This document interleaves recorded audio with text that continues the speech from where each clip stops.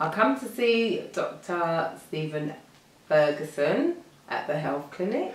Yeah. So what, what was you suffering? What what illness did you have? Well, I was getting blood clots and I had a little stroke.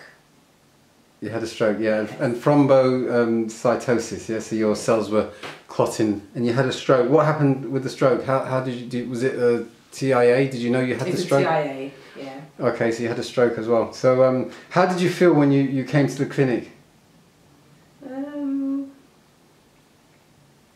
How did you feel?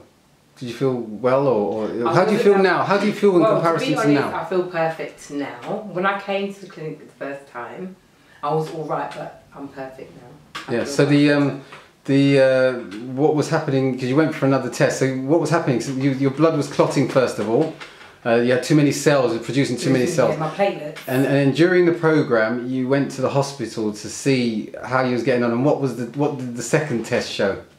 You just went the other day to sit, check your cells okay, again. What did that my platelets have gone down. So it's, it's actually improved. it's then? improved a lot. Yeah, it's improved a lot and it's gone Yes. down. So you use all these tablets and things. And I've stopped taking them. I've already taken Dr. Stevenson's um, medication. Dr. Ferguson's medication. Okay, Yes. oh. It's all right. Doesn't matter. It's all right.